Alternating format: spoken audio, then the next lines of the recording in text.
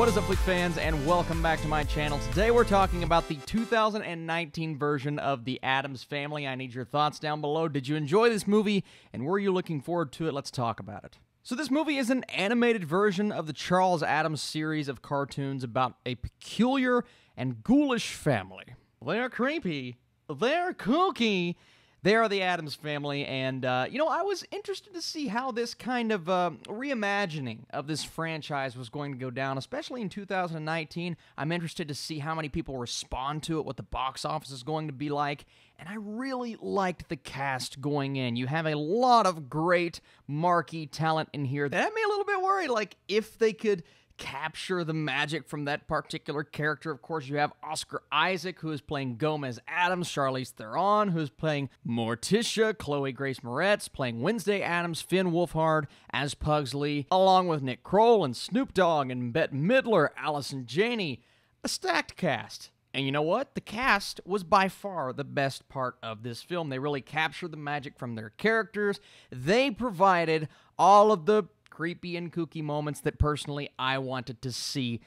Unfortunately, that does not take up a, very large portion of this movie. The majority of the film is a sloppy story mixed with mediocre writing and a lot of things that appeal to small children and really no one else. And here's what I always say about an animated movie like this if you can pull in the kids, that's great because, of course, that's your target audience. But who has to take the kids to the movies? Unless they're like riding their scooter or something. Do kids ride scooters?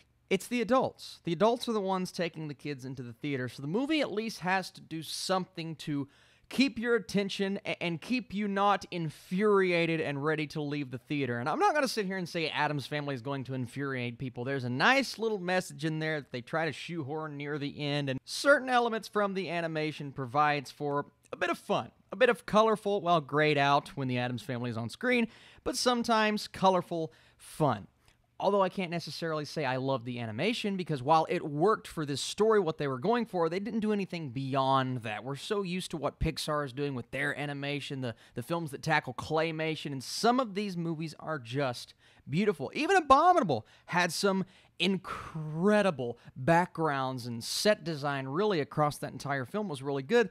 This movie doesn't have any of that. It's not animated in a way that keeps your attention, so you're relying on the story and these characters. And while the acting is good for the characters, I can't say the characters were written super well because their story is so uninteresting and everything is kooky and wacky and over the top, but not in a way that makes you laugh. I wanted to chuckle so many times throughout this movie. I'm like, okay, they're setting up for a joke. Here comes the joke. Here comes the punchline. And it doesn't deliver it's not as big of a deal if the kids are laughing at least, right?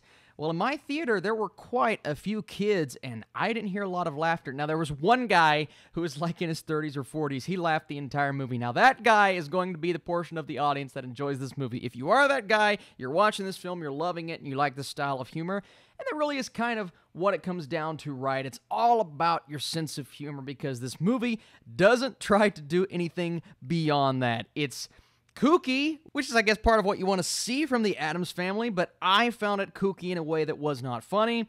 The guy sitting a few rows below me found it kooky in a way that was funny. You're going to be on one side of the fence or the other. And if you are a fan of the Addams family, you're going to get your Easter eggs. You're going to get your moments in there that really harken back to the things, whether it's in the animation or the 90s films that people love. You absolutely get that. There are a few moments towards the end, and stay once the movie actually ends because you'll get some nods uh, before, during the credits as well. Overall, guys, I think the Addams family is definitely going to appeal to young children but no one else. Sadly, I found the writing to be completely lackluster. Nothing stood out, nothing was special about the script. They did not write these characters in such a way that captured the magic from what we've seen from them plenty of times before.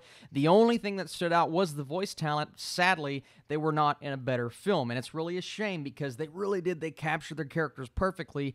They just didn't have anything to work with, and the story goes nowhere. And frankly, during the third act, I was almost completely bored. So I am personally going to go a 30% for the Addams family. I was worried when they didn't lift the embargo until, well, I didn't see it until after the film, and that's not a good sign when you're lifting it right when the movie premieres.